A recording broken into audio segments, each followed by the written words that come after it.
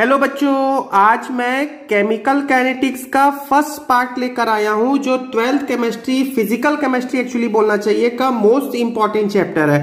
तो स्टूडेंट्स ये बहुत ही सिंपल चैप्टर है, और क्या इस चैप्टर में पढ़ना है, इनके कई सारे पार्ट्स मैं बनाने वाला हूँ। आप ध्यान से सारे पार्ट्स को देखते रहे तो आपको ये चैप्टर बहुत आसान लगने लगेगा। सबसे पहले ये जानने की कोशिश करते हैं कि आखिर केमिकल कैनेटिक्स का मीनिंग क्या है और आखिर इस चैप्टर में हम क्या पढ़ने वाले हैं? तो केमिकल काइनेटिक्स को मैं कुछ ऐसा लिखता हूँ। काइनेटिक्स का मतलब होता है काइनेटिक्स का क्या मतलब होता है? स्टूडेंट्स काइनेटिक्स काइनेटिक्स को मैं ऐसा लिख सकता हूँ। काइनेटिक्स का मीनिंग होता है मोशन ठीक है? मोशन मतलब गति, ठीक? स्पीड और केमिकल को मैं लिख लेता हूँ केमिकल रिएक्शन तो हम इस चैप्टर में क्या पढ़ने वाले हैं? बच्चों केमिकल रिएक्शन का स्पीड के बारे में पढ़ने वाले हैं। क्लियर हो रही है बात? अच्छा अब मोशन को आप और सरल शब्दों में बोल लो स्पीड ठीक है? अब स्पीड वेलोसिटी ऐसा समझ ले। तो क्या आप केमिकल रिएक्शन के स्पीड के बारे में समझना चाहते हैं? तो उसको कैसे समझोगे? ये देखो।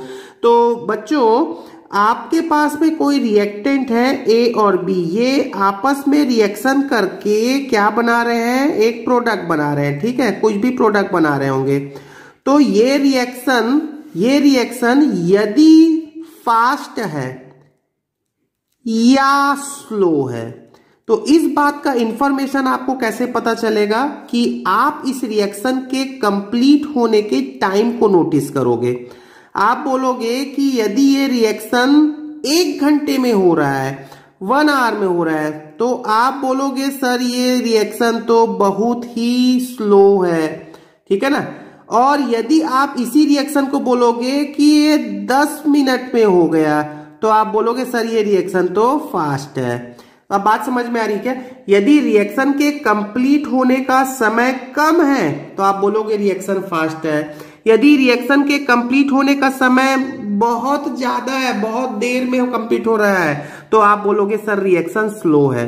तो अल्टीमेटली आपने इस रिएक्शन को किससे रिलेट कर दिया है? टाइम से रिलेट कर दिया है। ठीक है? तो हमें अल्टीमेटली केमिस्ट्री में एक मात्र ऐसा चैप्टर है जो केमिकल काइनेटिक्स है, जिसमें हमको टाइम से डील करना है। क्लियर हो रही बात? ठीक है? तो यही एक ऐसा चैप्टर है। मैं फिर से बोल रहा हूँ यही एक ऐसा चैप्टर है पूरे केमिस्ट्री में जिसमें हमें समय से डील करना है मतलब समय को केमिकल रिएक्शन से रिलेट करना है। तो अब आप ये समझ चुके हैं स्टूडेंट्स कि केमिकल काइनेटिक्स में अल्टीमेटली मुझे क्या पढ़ना है? रिएक्शन के रेट के बारे में पढ़ना है रिएक्शन के स्पीड के बारे में पढ़ना है। एक्चुअली में जो रिएक्शन की स्पीड होती है उसे हम केमिस्ट्री में क्या कहने वाले हैं? रेट ऑफ़ केमिकल रिएक्शन ठीक है? रेट ऑफ़ केमिकल रिएक्शन के बारे में हमको इस चैप्टर में पढ़ना है। रेट ऑफ़ केमिकल रिएक्शन को पढ़ने के पहले हमें कुछ बातों को जानना ज़रूरी है। वो बातें क्या क्या है? तो ये सुनते चलते हैं। देखिए, मैंने यहाँ पर लिख रखा है, सबसे पहले हमको ये टर्म जानना ज़रूर होता है, बच्चों। केमिक कंसंट्रेशन ऑफ़ सॉल्यूट बहुत ही सिंपल कंसंट्रेशन ऑफ़ सॉल्यूट ये कंसंट्रेशन तो बहुत ही सिंपल है केमिस्ट्री में सब बच्चों को पता ही होता है। क्या होता है कि किसी सॉल्यूशन में, किसी सॉल्यूशन में सॉल्यूट की क्वांटिटी को रिप्रेजेंट करना ही तो कंसंट्रेशन होता है। चलिए पहले एग्ज़ाम्पल से हम समझते हैं कि सपोज़ सपोज़ मेरे पास में कुछ वाटर रखा हुआ है, ठीक है? दो कंटेनर में मैंने वाटर भर के रखा हुआ है। ठीक है? अब मैंने इसमें मैंने इसमें आ, इसमें मैंने दो ग्राम शुगर डाल दिया। तो ये बन गया अब सॉल्यूशन ठीक है? और इसमें मैं फाइव ग्राम शुगर डाल दिया। तो ये भी बन गया सॉल्यूशन अब ये किसका सॉल्यूशन है? वाटर और शुगर का। ये किसका सॉल्यूशन है? वाटर और शुगर का। लेकिन इस फाइव ग्राम शुगर और टू ग्राम शुगर भैया शुगर की क्वांटिटी तो अलग अलग है ना? तो इस शुगर की क्वांटिटी को ही सॉल्यूशन में रिप्रेजेंट करना ही कंसंट्रेशन होता है। ठीक है? क्लियर हो गया? मैं यदि यहाँ पर बोलता हूँ, ये है 10 एम वाटर और ये है मान लो 50 एम वाटर ठीक है? 50 एम वाटर तो आप क्या बोलोगे? 10 एम वाटर में 2 ग्राम शुगर घुला है। यहाँ पर क्या बोलोगे? 50 एम वाटर में 5 ग्राम शुगर घुला है। तो 5 ग्राम पर 50 एम ऐसे ही तो बोलोगे? क्या बोलोगे? 5 gram sugar present in 50 M water यही तो बोलोगे बेटा? ठीक है? तो यही क्या चीज़ है? कंसंट्रेशन है। किसका? सुगर का। किसमें? सॉल्यूशन में। क्लियर हो गया? ठीक है। चलिए, अब ये तो बहुत सिंपल सी बात है कि हम यहाँ पर हमको सॉल्यूशन में सॉल्यूशन को कंसंट्रेशन को रिप्रेजेंट करने के बहुत सारे ऑप्शन होते हैं। उसमें से सबसे मोस्ट इंपॉर्टेंट ऑप्शन होता है मोलैरिटी जिसको हम क्या रिप्रेजेंट करते हैं? कैपिटल एम से रिप्रेजेंट करते हैं। अब ये मोलैरिटी क्या होता है? क्या होता है स्टूडेंट्स ये होता है number of moles of solute dissolve in one litre of solution देखो, ऊपर जो बात मैंने कही थी कि सॉल्यूट की क्वांटिटी को रिप्रेजेंट करना एक्चुअली में कंसंट्रेशन क्या है? क्वांटिटी है। किसकी क्वांटिटी सॉल्यूट की क्वांटिटी किसमें? सॉल्यूशन में। ठीक है? तो आपने फिक्स कर दिया। एक लीटर सॉल्यूशन आपने फिक्स कर दिया। एक लीटर सॉल्यूशन में सॉल्यूट के जितने भी मोल्स होते हैं, उसे हम क्या बोलते हैं? मोलैरिटी बोलते हैं। अच्छा मोल्स क्या है? मोल्स कुछ भी नहीं है बच्चों। मोल्स क्या होता है? सॉल्यूट की क्वांटिटी को एक रिप्रेजेंट किया। सॉल्यूट बोलो या किसी भी दुनिया के किसी भी केमिकल सब्सटेंस को मोल से रिप्रेजेंट किया जा सकता है। ठीक है? मोल क्या है? ये क्वांटिटी को रिप्रेजेंट करता है। मोल होता है मास ऑफ़ सब्सटेंस। ठीक है? मोल क्या होता है? Mass of substance. कोई भी सब्सटेंस का mass divided by molecular mass. ठीक है? Molecular mass. तो एक्चुअली में क्या होता है? जैसे मैं आपको बोलता हूँ सिंपल एग्जांपल समझो। ये मेरे पास में यदि शुगर है तो ये शुगर की क्वांटिटी को आपने किसमें रिप्रेजेंट किया है? ग्राम में। ग्राम में रिप्रेजेंट किया ना? आप दुकान जाते हो मार्केट जाते हो मार्केट से शुगर खरीद के लाते हो, आप बोलते हो, सर दुकानदार को एक केजी शुगर दे दो दो केजी शुगर दे दो। तो ये एक केजी दो केजी क्या है ये? एक्चुअली में शुगर की क्वांटिटी है। किस रूप में है, किसमें है? मास में है ना, मास। एक के जी दो के जी सौ ग्राम, दो सौ ग्राम। आप दूध लेते हैं, एक लीटर, दो लीटर तो ये वॉल्यूम है, ठीक है? उसी प्रकार स्टूडेंट्स किसी भी सब्सटेंस की, वैसे स्पेशली केमिकल सब्सटेंस की क्वांटिटी को हम किससे रिप्रेजेंट कर सकते हैं? मास से मोल से रिप्रेजेंट कर सकते हैं। आप एक काम करना, आप शॉप में जाना और शॉप कीपर को बोलना कि मुझे 10 मोल शुगर दे दो। यदि वो केमिस्ट्री का जानकार है तो आपको 10 मोल शुगर वो वे करके दे देगा। ठीक है ना? वो आप कैलकुलेट कर लेगा mass of mass of substance upon molecular mass से वो कैलकुलेट कर लेगा, यदि वो केमिस्ट्री जानता है तो। ठीक है? क्या बोला कि यदि आप दुकानदार के पास जाते हैं और आप उसको बोलते हैं ना कि मुझे एक मोल शुगर दे दो तो वो कितना शुगर दे देगा? वो दे देगा 342 ग्राम शुगर दे देगा। कैसे two three forty two gram sugar देगा? क्योंकि शुगर का शुगर क्या होता है? C twelve H twenty two O eleven अब आप इसका मॉलिकुलर मास कैलकुलेट करेंगे ना तो वो थ्री फोर्टी टू होता है। ठीक है? तो एक मोल शुगर का मास कितना हो जाएगा? थ्री फोर्टी टू ग्राम हो जाएगा। क्लियर है स्टूडेंट तो ये सब बातें आपने इलेवेंथ में पढ़ रखा होगा। तो अल्टीमेटली अभी मैं यही कहना चाह रहा हूँ कि एक लीटर सॉल्यूशन में सॉल्यूट के जितने भी मोल घुले होते हैं, जितने भी मोल डिजोल्व है, उसी को हम क्या बोलते हैं? मोलैरिटी बोलते हैं। चलो मैं एक एग्जांपल बोलता हूँ। मान लो या कि मेरे पास में एक कंटेनर है और इसमें मैं बोलता हूँ कि 20 लीटर सॉल्यूशन है। कितना लीटर सॉल्यूशन है? 20 लीटर सॉल्यूशन है। क्लियर हो रहा है? और इस 20 लीटर सॉल्यूशन में सॉल्यूट के 40 मोल हैं, ठीक है? 40 मोल 40 मोल्स हैं। तो आप खुद सोचो, ट्वेंटी लीटर में, ट्वेंटी लीटर में फोर्टी मोल है तो एक लीटर में कितने होंगे? दो मोल होंगे। होंगे ना? ट्वेंटी में फोर्टी है तो एक में दो मोल होंगे। यही दो मोल इस सॉल्यूशन का क्या है? मोलैरिटी तो इसको कैसे बोल, रिप्रेजेंट करोगे? To molar. क्लियर हो गई बात?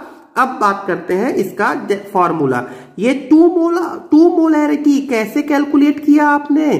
तो आप बोलोगे, सर, आप आप 40 को ट्वेंटी से डिवाइड कर दो। ठीक है ना? फोर्टी डिवाइडेड बाय ट्वेंटी ही तो टू होगा। अब ये फोर्टी क्या था? देखो, फोर्टी क्या है? ये है number of moles of solute. और ट्वेंटी क्या है? वॉल्यूम का, सॉरी, सॉल्यूशन का वॉल्यूम लीटर में। यही तो है। ट्वेंटी क्या है? वॉल्यूम का volume of solution in litre. ठीक है? तो इस बेसिस पे बच्चों, मेरे पास में मोलैरिटी का एक सिंपल सा क्या आ गया? फॉर्मूला आ गया। क्या? Number of moles of solute present present in one litre of solution मतलब वॉल्यूम ऑफ़ सॉल्यूशन। और यदि इसके यूनिट की बात करने चाहें बच्चों तो मोल पर लीटर। मोल तो यूनिट हो गया, लीटर। तो मोल पर लीटर क्या हो गया? मोलैरिटी का यूनिट हो गया। चलिए बच्चों, अब रेट ऑफ़ रिएक्शन को समझने की कोशिश करते हैं। तो सबसे पहले बच्चों, मैं रेट ऑफ़ रिएक्शन का डेफिनेशन लिखता हूँ, ठीक है? रेट ऑफ़ रिएक्शन सबसे इंपॉर्टेंट टॉपिक है, ये बोर्ड में पूछ लिया जाता है। रेट ऑफ़ रिएक्शन को वैसे हम इस चैप्टर में आर से रिप्रेजेंट करने वाले हैं रेट आर रेट कभी भी ये रेट टर्म आया फिजिक्स में भी रेट टर्म आया है तो आप इसको सीधा सीधा टाइम से रिलेट करो। रेट का रिलेशन किससे है? टाइम से है। ठीक है? तो आप ध्यान से सुनोगे बच्चों, क्या डेफिनेशन मैं बोलने वाला हूँ, फिर हम इसका इसका एक्सप्लेनेशन आपको देंगे। तो आप क्या बोलोगे? सबसे पहले लिखते हैं चेंज इन कंसंट्रेशन अब कंसंट्रेशन तो आप समझ चुके हैं, इस चैप्टर में कंसंट्रेशन को मैं मोलैरिटी से बताने वाला हूँ। तो change in concentration of reactant ठीक है? Change in concentration of reactant और प्रोडक्ट ठीक है? रिएक्टेंट और product with respect to with respect to time is called क्या बोलते हैं इसे? Is called rate of reaction is called rate of reaction ठीक है? रेट ऑफ़ रिएक्शन का ये सिंपल सा मैंने डेफिनेशन लिख दिया। अब ये डेफिनेशन आपको समझ में तो आया होगा नहीं, जैसा मैंने लिख दिया। तो इसको समझते हैं बच्चों रेट ऑफ़ रिएक्शन मतलब अल्टीमेटली ये क्या है? आप अपने समझने के लिए लिख सकते हैं, ये है एक्चुअली स्पीड ऑफ़ रिएक्शन ठीक है? स्पीड ऑफ़ रिएक्शन अच्छा अब सुनो ध्यान से। स्पीड स्पीड ऑफ़ कार यदि आपके पास में कोई कार है या कार की स्पीड का डेफिनेशन आप कैसे बोलते हैं? तो आप क्या बोलते हो? एक चेंज क्या बोलते हो? चेंज इन डिस्टेंस ठीक है ना? कार यदि कार की स्पीड की बात करते हैं तो कार ट्रेवल कर रहा है। और यदि कार ट्रेवल कर रहा है तो डिस्टेंस में कंटिन्यूसली चेंजेस आ रहे हैं। तो change in distance upon change in time तो देखो बच्चों क्या होगा कि हमारे पास में एक पॉइंट ये है, एक पॉइंट ये है। ठीक है? मान लो दोनों पॉइंट का डिस्टेंस है 20 किलोमीटर। क्लियर हो गया? और एक कार यहाँ से यहाँ तक चलने में लेता है 10 मिनट। तो आप वेलोसिटी कितना बोलोगे? तो आप वेलोसिटी बोलोगे डिस्टेंस डिवाइडेड बाय टाइम कितना बोलोगे? डिस्टेंस हो गया 20 टाइम हो गया 10 मतलब आप इसका स्पीड क्या बोलोगे स्टूडेंट्स आप बोलोगे टू किलोमीटर पर मिनट बोलोगे, यही तो बोलोगे? अब सुनो, क्या चेंज हो रहा है? डिस्टेंस चेंज हो रहा है। किसके साथ साथ? टाइम के साथ साथ। देखो, यहाँ से कंटिन्यूसली चलता गया, चलते गए चलते गए तो डिस्टेंस में कंटिन्यूसली चेंजेस आ रहा है विथ रिस्पेक्ट टू टाइम उसी प्रकार बच्चों रेट ऑफ़ रिएक्शन में क्या चेंज होगा? और विथ रिस्पेक्ट टू टाइम तो देखो, ध्यान से देखो आप, बहुत सिंपल सी बात मैं कहता हूँ। मेरे पास में एक कंटेनर है बच्चों, और इस कंटेनर में मैंने दो रिएक्टेंट ऐड कर दिए। मैंने रिएक्टेंट ए ऐड किया और रिएक्टेंट बी ऐड किया।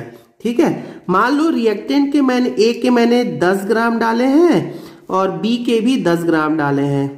तो ये अभी मैंने ए और बी को ऐड कर दिया है। और ए और बी आपस में रिएक्शन करके क्या बनाएँगे बच्चों? ये कुछ प्रोडक्ट बनाएँगे ठीक है? कुछ प्रोडक्ट बना रहे हैं। अब खुद सोचो जैसे जैसे समय बीतता जाएगा ये द, ए का 10 ग्राम बी का 10 ग्राम आपस में रिएक्शन करने लगेंगे। और वो किसमें कन्वर्ट होने लगेगा? प्रोडक्ट में कन्वर्ट होने होने लगेगा। है कि नहीं? सिंपल सी बात। ए का 10 ग्राम बी का 10 ग्राम धीरे धीरे प्रोडक्ट में कन्वर्ट होने लगेगा। ठीक है? मतलब ये है कि ए की क्वांटिटी धीरे धीरे कम होने लगेगी बी की क्वांटिटी धीरे धीरे कम होने लगेगी। मतलब ए का दस ग्राम जो शुरू में था, वो पाँच मिनट बाद दस ग्राम नहीं रहेगा। बी का दस ग्राम जो शुरू में था, वो पाँच मिनट बाद दस ग्राम नहीं रहेगा। वो धीरे धीरे कम होता जाएगा। और साइमल्टेनियसली साइमल्टेनियसली मतलब साथ ही साथ, ये जो प्रोडक्ट की क्वांटिटी है, वो बढ़ती जाएगी। शुरू में प्रोडक्ट कितना रहेगा? निश्चित रूप से जब रिएक्शन स्टार्ट नहीं हुआ है तो प्रोडक्ट रहेगा ज़ीरो अब धीरे धीरे प्रोडक्ट बढ़ता जा रहा है। ठीक है? तो यही बात तो हमने लिख रखी है। देखो क्या लिख रखी है। चेंज इन कंसंट्रेशन ठीक है? कंसंट्रेशन चेंज हो रहा है। किसका? ऑफ़ रिएक्टेंट का कंटिन्यूसली वैसे रिएक्टेंट का कंसंट्रेशन चेंज होने के साथ साथ क्या हो रहा है? कम हो रहा है। और प्रोडक्ट ठीक है? और ये प्रोडक्ट का कंसंट्रेशन क्या हो रहा है? बढ़ रहा है। With respect to time is called rate of reaction ठीक है? तो जिस प्रकार से हमने स्पीड का फॉर्मूला लिखा, स्पीड ऑफ़ कार का। उसी प्रकार मैं रेट ऑफ़ रिएक्शन का भी फॉर्मूला लिखने वाला हूँ। क्या होगा रेट ऑफ़ रिएक्शन का फॉर्मूला? तो क्या होगा? क्या होगा students? Rate of reaction. Rate of reaction. Rate of reaction को मैं क्या लिखूँगा? क्या चेंज हो रहा है? तो चेंज। Change in concentration. किसका ऑफ़ किसका बोलो? तो प्रो रिएक्टेंट और प्रोडक्ट ठीक है? आर और पी लिख दिया मैं। With respect to time clear हो गया? ठीक है? और एक बात और क्लियर कर देते हैं। रिएक्टेंट का कंसंट्रेशन कम होगा। कम हो रहा है मतलब चेंज हो रहा है। प्रोडक्ट का कंसंट्रेशन बढ़ेगा। चेंज हो रहा है। ठीक है? Concentration is nothing but quantity ठीक है? एक इंपॉर्टेंट बात सुनना बच्चों, यहाँ पर यूनिट क्या होना चाहिए? Unit of rate of reaction क्या होगा? तो कंसंट्रेशन का यूनिट अपॉन टाइम का यूनिट कंसंट्रेशन का यूनिट हमने अभी आपको थोड़ी देर पहले ही बता रखा है मोल प्रति लीटर अपॉन में टाइम क्या होगा बच्चों?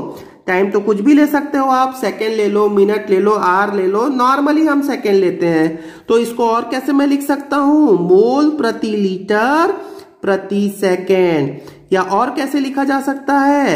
Mole second inverse, litre inverse. Mole प्रति लीटर, प्रति सेकेंड।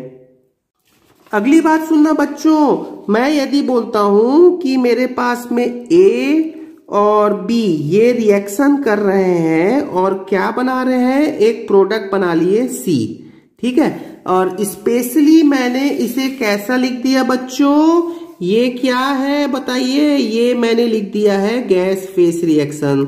ठीक है? तो गैस फेस रिएक्शन में मैंने लिखा है ए भी गैस है बी भी गैस है सी भी गैस है। अब गैस है तो उसका कुछ ना कुछ क्या होता है? प्रेशर होता है। पता है ना? गैस है तो उसका कुछ ना कुछ क्या होगा? प्रेशर होगा। तो क्या रिएक्शन में कंटिन्यूसली यदि क्वांटिटी चेंज होगी तो प्रेशर चेंज होगा क्या? खुद सोचो। मान लो ए का स्टार्टिंग प्रेशर है टेन एटीएम ठीक है? बी का स्टार्टिंग प्रेशर है टेन एटीएम ठीक? और सी का स्टार्टिंग प्रेशर कितना होगा? ज़ीरो एटीएम भाई सी तो बना ही नहीं है ना, ये तो प्रोडक्ट है ज़ीरो होगा। स्टार्टिंग बोल रहा हूँ स्टार्टिंग मतलब जब समय, जब time T is equal to zero है। और थोड़ी देर के बाद ये ए कंज्यूम होगा। डिसअपियर होगा किसमें वो कन्वर्ट होता जाएगा सी में। बी भी धीरे धीरे कम होता जाएगा सी में। मतलब धीरे धीरे ए का प्रेशर क्या होता जाएगा? कम होता जाएगा। बी का प्रेशर धीरे धीरे क्या होता जाएगा? कम होता जाएगा। और सी का प्रेशर धीरे धीरे क्या होता जाएगा? बढ़ता जाएगा। तो गैस फेस रिएक्शन के लिए, गैस फेस रिएक्शन के लिए unit of rate of reaction क्या होना चाहिए? तो खुद सोचो। क्या चेंज हो रहा है यहाँ पर? तो प्रेशर चेंज हो रहा है। तो change in pressure with respect to time pressure का यूनिट हम नॉर्मली क्या लेते हैं? ATM with respect to time मतलब सेकेंड तो ये भी एक यूनिट हो गया रेट ऑफ़ रिएक्शन का in terms of pressure clear है? अब अगली बात सुनो बच्चों। मैंने रेट ऑफ़ रिएक्शन को दो प्रकार से डिफाइन किया है। मतलब दो प्रकार के रेट ऑफ़ रिएक्शन होते हैं। वो क्या क्या होते हैं? ध्यान से देखो।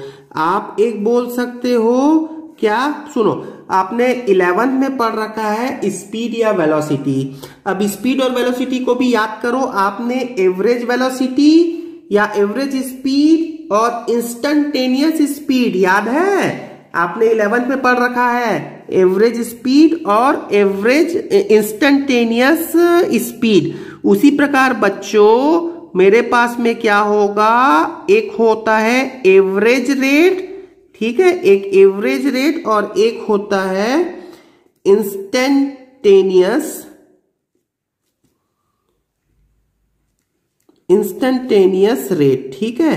तो एवरेज रेट और इंस्टेंटेनियस रेट क्या होता है? तो कुछ नहीं बच्चों, जो डेफिनेशन पहले भी पढ़ रखा है, वही चीज़ है यहाँ पर भी। एवरेज रेट क्या होता है? देखो, खुद मैं पहले आपको एक एग्जांपल से बोलता हूँ, ठीक है? मान लो यहाँ पर एक पॉइंट ए है, यहाँ पर एक पॉइंट बी है। कार की स्पीड से समझना ना कार वाला स्पीड से बता रहा हूँ। ये पूरा जो डिस्टेंस है, वो मान लो सौ किलोमीटर है, ठीक है? ये पूरा जो डिस्टेंस है, वो सौ किलोमीटर है। अब एक कार जो यहाँ से चलना प्रारंभ करती है, वो यहाँ तक पहुँचती है, मान लो 60 मिनट में। ए से बी तक ट्रेवल करने में उसको कितना मिनट लगा? 60 मिनट लगा। ठीक है 60 मिनट लगाता है। अब आपको मैं ये बोलता हूँ कि बच्चों, मैं कार की स्पीड जानने वाला हूँ। या मैं आपसे पूछता हूँ, बीसवें मिनट से तीसवें मिनट मतलब 20 से 30 मिनट 60 मिनट में टोटल पहुँचा है ना?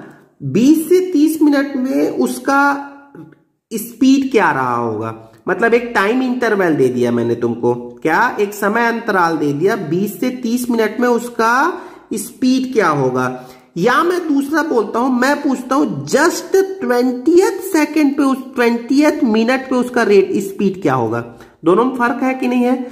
मैंने यहाँ पर आपको एक टाइम इंटरवल दे दिया। ठीक है? भाई मैंने बोला कि 20 से 30 मिनट के बीच कार की स्पीड क्या होगी? एक क्वेश्चन हुआ। दूसरा क्वेश्चन मैंने पूछा जस्ट ट्वेंटी मिनट पे आ, कार की स्पीड क्या होगी? ठीक है? तो ये दोनों में फ़र्क है कि नहीं है? तो देखो जब मैं इसी को बस रिलेट कर लो शुरू वाले को जब ये 20 से 30 में टाइम इंटरवल दे दिया तो मैंने उसको क्या बोल दिया? एवरेज स्पीड और इंस्टेंटेनियस स्पीड आप किसको बोले होंगे एक, एक पर्टिकुलर टाइम इंस्टेंट में किसी रिएक्शन के किसी कार की स्पीड को इंस्टेंटेनियस स्पीड कह दिया। ठीक है बच्चों? तो आप सुनना है ऐसा कोई बहुत इंपॉर्टेंट बात नहीं है। एवरेज रेट ऑफ़ रिएक्शन और इंस्टेंटेनियस रेट ऑफ़ रिएक्शन क्या होगा? कि एक टाइम इंटरवल पे एक लंबे टाइम इंटरवल पे यदि मैं आपको रिएक्शन का रेट पूछूँ तो आप उसको बोलोगे एवरेज रेट ऑफ़ रिएक्शन और एक इंस्टेंटेनियस टाइम पर्टिकुलर समय पे आपको पूछें कि रिएक्शन का रेट क्या है तो आप उसको इंस्टेंटेनियस रेट ऑफ़ रिएक्शन बोलने वाले हो। अच्छा अब सुनना स्टूडेंट्स केवल क्या होता है? रेट को हम कैसे रिप्रेजेंट करते हैं? आर से, ठीक है?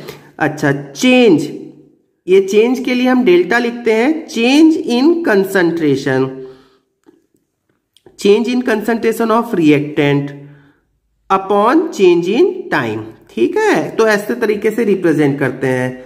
या आप इसको भी बोल सकते हो change in concentration of product upon change in time ठीक है? तो इस तरीके से रिप्रेजेंट करते हैं। अब बच्चों, याद करोगे रिएक्टेंट का कंसंट्रेशन धीरे धीरे क्या होता है? कम होता है। अब रिएक्टेंट का कंसंट्रेशन कम होता है, इसलिए इसको हम माइनस से रिप्रेजेंट करते हैं। तो माइनस साइन केवल इंडिकेट करता है रिएक्टेंट के कंसंट्रेशन के कमी को। ठीक है? इंस्टेंटेनियस रेट ऑफ़ रिएक्शन हम कैसे डिफाइन करने वाले हैं? ये डेफिनेशन तो सेम है ना? तो ये हो गया रेट ठीक है? तो यहाँ पर लिख लेते हैं normally change in concentration of reactant upon change in time कुछ नहीं। डी और डेल्टा से रिप्रेजेंट कर देते हैं। कोई इससे फ़र्क नहीं पड़ता है। हम एक बार कह रहे हैं आपको, कोई फ़र्क नहीं पड़ता है। क्लियर हो गई बात? तो change in concentration with respect to time ही है। रिएक्टेंट के लिए माइनस लगा लेते हैं और प्रोडक्ट के लिए क्या रहेगा बच्चों? ये प्रोडक्ट के लिए हम पॉजिटिव दिखाते हैं।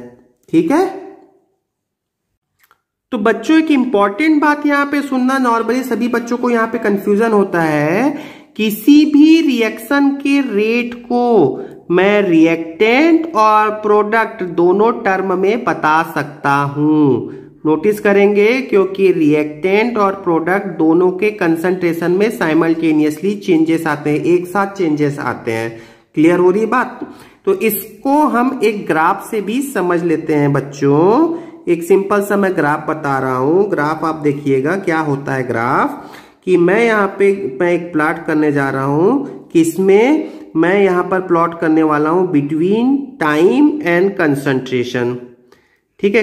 टाइम एंड कंसंट्रेशन कंसंट्रेशन ठीक है? तो कंसंट्रेशन और टाइम कंसंट्रेशन किसका लेने वाला हूँ? तो मैं लेने वाला हूँ रिएक्टेंट और प्रोडक्ट दोनों का। ठीक है? तो आप खुद सोचो एक्स एक्सेस पे हम जब आगे बढ़ रहे हैं तो टाइम बढ़ता जा रहा है। और वाई एक्सेस में जब मैं ऊपर जा रहा हूँ तो क्या बढ़ रहा है? कंसंट्रेशन बढ़ रहा है। ये ओरिजिन है, यहाँ पर क्या है? ज़ीरो है। क्या ज़ीरो है? टाइम भी ज़ीरो है कंसंट्रेशन भी ज़ीरो है। जब कोई रिएक्शन मान लिया कि मेरे पास में रिएक्शन है A plus B gives product ठीक है? जब कोई रिएक्शन जैसे ही मैं स्टार्ट कर रहा हूँ मतलब समय अभी ज़ीरो है, जैसे ही मैं रिएक्शन स्टार्ट कर रहा हूँ रिएक्टेंट का कंसंट्रेशन रिएक्टेंट का क्वांटिटी मैक्सिमम होगा। ठीक है? या रिएक्टेंट का कंसंट्रेशन मैक्सिमम होगा तो मैक्सिमम मतलब यहाँ पर मैंने लगा लिया। अब जैसे जैसे समय बीतता जाएगा, समय में मैं आगे बढ़ता जाऊँगा। जैसे जैसे समय बीतता जाएगा रिएक्टेंट का कंसंट्रेशन यहाँ पर मैं क्या लिख लेता हूँ? ये किसका पॉइंट हो गया? रिएक्टेंट का पॉइंट हो गया। तो जैसे जैसे हम समय पे, जैसे जैसे समय बढ़ता जाएगा रिएक्टेंट का क्वांटिटी क्या होता जाएगा बच्चों? कम होता जाएगा। तो ग्राफ का नेचर कैसा आएगा? कुछ इस तरीके से आएगा। धीरे धीरे धीरे धीरे धीरे धीरे ये कम होता जा रहा है। मतलब मैं y एक्सेस पे नीचे आ रहा हूँ क्योंकि कंसंट्रेशन y एक्सेस में नीचे कम हो रहा है और x एक्सेस पे मैं आगे बढ़ रहा हूँ। नोटिस करोगे। जब समय ज़ीरो है, जब समय ज़ीरो है तो प्रोडक्ट का क्वांटिटी कितना है? ज़ीरो है। तो ज़ीरो मतलब ये प्रोडक्ट का कंसंट्रेशन ज़ीरो है। और जैसे जैसे समय बीतता जाएगा प्रोडक्ट का कंसंट्रेशन भी धीरे धीरे धीरे धीरे धीरे बढ़ता जाएगा। मतलब मैं एक्स एक्सिस में बढ़ते हुए वाई एक्सिस पे ऊपर जाऊँगा। तो ये लाइन किसके लिए है बच्चों? ये लाइन हो गया प्रोडक्ट के लिए। तो आई होप आपको यहाँ तक की सारी बातें समझ में आ रही होगी। तो दिख भी रहा है आपको। जैसे जैसे समय बढ़ रहा है रिएक्टेंट कम हो रहा है प्रोडक्ट बढ़ रहा है, एक साथ ये प्रोसेस होता रहता है। तो बच्चों नेक्स्ट एक मोस्ट इंपॉर्टेंट बात समझने की कोशिश करते हैं, जिसका हेडिंग आपके सामने मैंने लिख दिया है।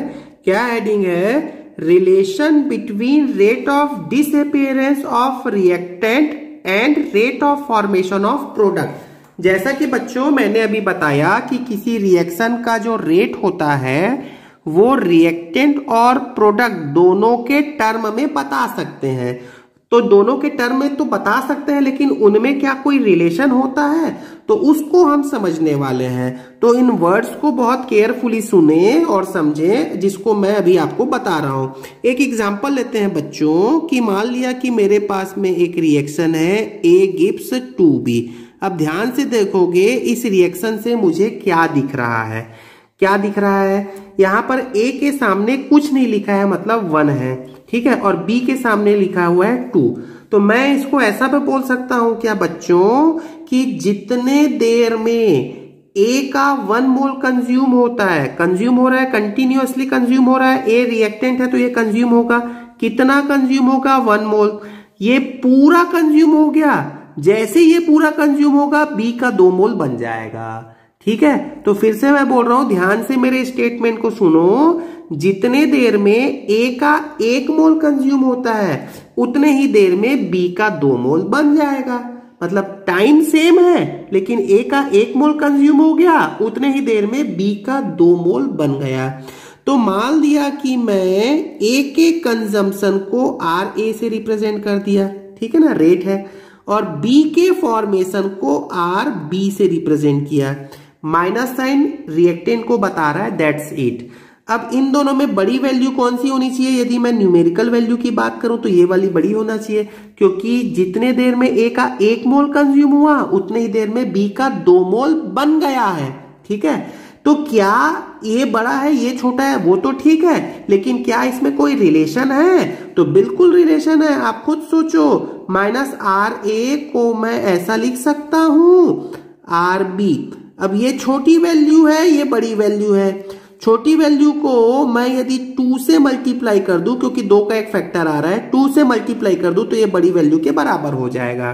क्लियर हो गई बात? ठीक है ना? ये छोटी वैल्यू थी, ये बड़ी वैल्यू थी, और इन दोनों में यदि मैं इक्वल टू का रिलेशन लाना चाहता हूँ तो छोटी वैल्यू को टू से मल्टीप्लाई कर दूँगा तो वो बड़ी वैल्यू के इक्वल हो जाएगा। क्या मैं इसे ऐसा लिख सकता हूँ, बच्चों? माइनस आर ए अपॉन में one is equal to R B upon में टू क्लियर हो गया क्या? लिख सकते हैं ना? ठीक है?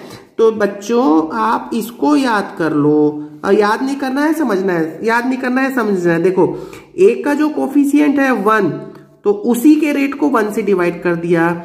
बी का कोफिशियंट जो है, वो टू है। उसी के रेट से इसको डिवाइड कर दिया। और यही क्या है बच्चों?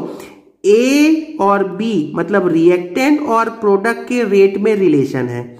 ये रिएक्टेंट का कंजम्पशन या डिसअपियरेंस बोल सकते हैं, जो ऊपर लिखा हुआ है, या ये है प्रोडक्ट का फॉर्मेशन और अल्टीमेटली यही क्या है? यही क्या है बच्चों? रेट ऑफ़ रिएक्शन है। तो मैंने रेट ऑफ़ रिएक्शन को किस टर्म में बता दिया? रिएक्टेंट के टर्म में बता दिया। रेट ऑफ़ रिएक्शन को किस टर्म में बता दिया? प्रोडक्ट के टर्म में बता दिया। तो अब बातें समझ में आ रही हैं आपको? ठीक है। अब देखिएगा। माइनस आर ए इसको मैं और क्या लिख सकता हूँ? मैंने थोड़ी देर पहले ही तो बताया था कि ये होता है माइनस आर ए को मैं लिख लिया। Change in concentration with respect to time जो स्क्वेयर ब्रैकेट होता है बच्चों, ये किस चीज़ को बताता है? ये कंसंट्रेशन को बताता है और स्पेशली कौन सा कंसंट्रेशन को मोलैरिटी को, जिसका यूनिट क्या होता है? मोल पर लीटर ठीक है? तो change in concentration with respect to time with minus sign A के लिए लिखा। ये किसके इक्वल है बच्चों? वन बाई टू ये वन बाई टू को लिख लिया। D of concentration of B over D T देखिए सिंपल सा बात हो गया, है कि नहीं है? चलिए एक और एग्जांपल ले लेते हैं बच, प्यारे बच्चों। मैंने suppose N two plus H two gives N H three बनाया। क्या बना लिया मैंने? अमोनिया बना लिया। तो N two plus three H two gives two N H three ये रिएक्शन को मैंने बैलेंस कर लिया। तो क्या आप बता सकते हैं इस रिएक्शन में नाइट्रोजन का डिसअपियरेंस हाइड्रोजन का डिसअपियरेंस ये दोनों डिसअपियर हो रहा है कंज्यूम हो रहा है और ये बन रहा है। तो ये किस रेट से कंज्यूम हो रहा है, किस रेट से बन रहा है और इनमें क्या रिलेशन होना चाहिए? तो आप बोलोगे minus of R N two divided by one इसका कोफिशियंट है one is equal to minus of R H two divided by कितना हो गया बच्चों? Three is equal to R of N H three divided by कितना हो गया बच्चों? टू और ये क्या है? यही क्या है? इस रिएक्शन का रेट ऑफ़ रिएक्शन है बच्चों। तो रेट ऑफ़ रिएक्शन को मैंने किसके टर्म में बता दिया? एक बार नाइट्रोजन के टर्म में भी बता दिया। एक बार हाइड्रोजन के टर्म में भी बता दिया। एक बार अमोनिया के फॉर्मेशन के टर्म में भी बता दिया। और क्या लिख सकते हैं बच्चों? तो लिखने का तरीका आप देख लें। रेट ऑफ़ रिएक्शन क्या होगा?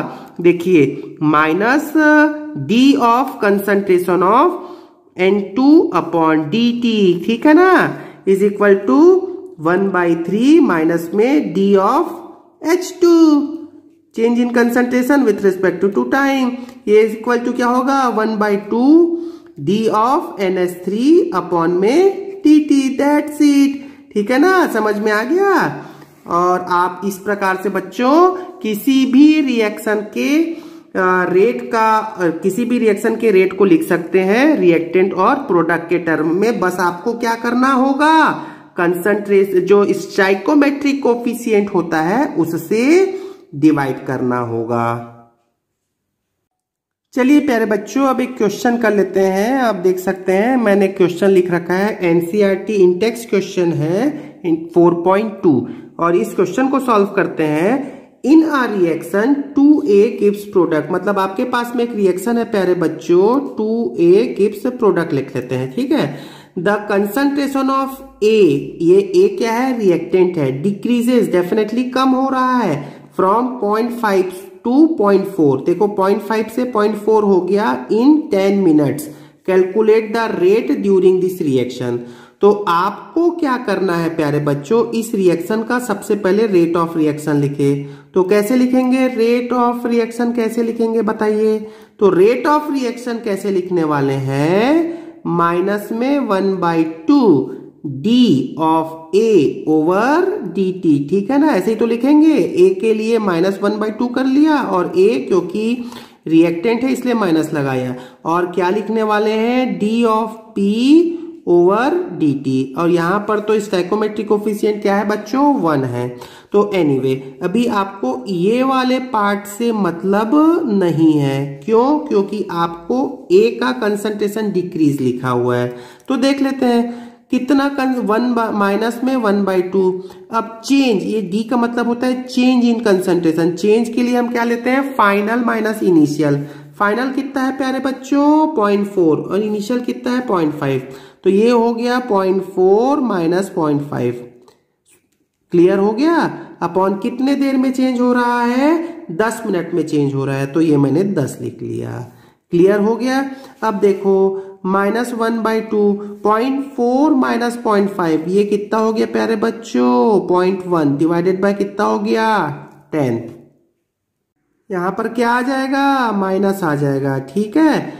तो ये माइनस माइनस कितना हो गया? प्लस हो गया कि नहीं हो गया? और यहाँ हो गया पॉइंट फाइव और इंटू ये हो गया ten S to power minus two हो जाएगा ना सॉल्व करोगे तो? तो अल्टीमेटली ये क्या हो गया प्यारे बच्चों? Five into ten S to power minus three unit की बात कर लेते हैं। यूनिट क्या होगा? इसका यूनिट होता है मोल प्रति लीटर, और ये दस मिनट दिया हुआ है। तो बच्चों, यहाँ पर यूनिट क्या हो जाएगा? मोल प्रति लीटर प्रति मिनट होगा। क्लियर हो गया बात? तो आई होप आपको यहाँ तक की सारी बातें समझ में आ गई होंगी। Thank you very much.